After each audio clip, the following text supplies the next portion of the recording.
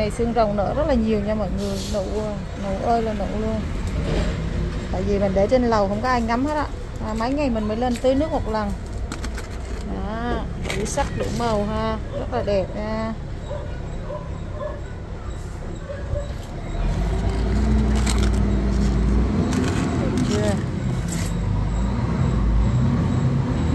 Dòng này là xương rồng kimono nha mọi người. Có cái dòng mà xương rồng mono nữa lobby lobby nữa, rất là đẹp, hoa to, nụ to. Và sen đá nhiều ha mọi người, nụ nhiều lắm luôn. Cô này là mùa của xương rồng mà.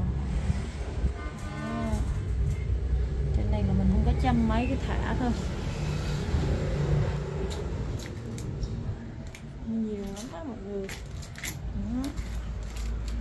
Một dãy luôn ha mọi người đây nữa này đây nữa này Đó, đây là hoa hồng.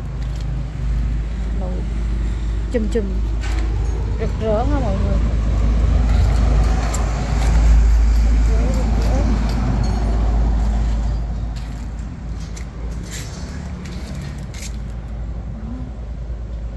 Giờ là 5 giờ chiều.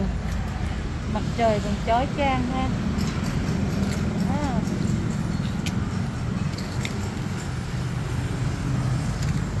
Chà, cái bông này đẹp quá mọi người ơi.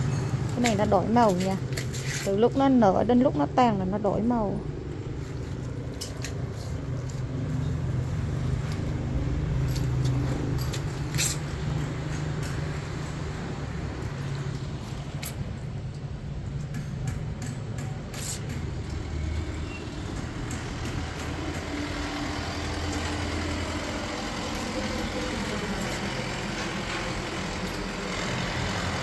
Hoa hồng chùm.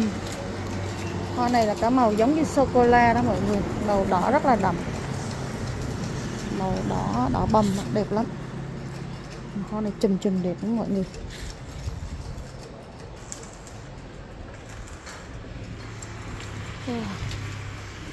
Còn là hoa chùm nữa, hoa chùm này vừa mới tàn.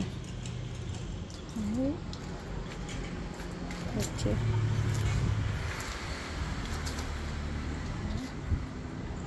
Nắng chiều rực rỡ. Trên này thì có đủ nắng và gió, cho nên là hoa nó sẽ nở quanh năm. Cái này cũng chuẩn bị nở hoa đây nè. Đẹp lắm luôn. Cục này rất là to, vậy mà trồng chậu to nó sẽ to ra nha mọi người. Nó sẽ bự ra.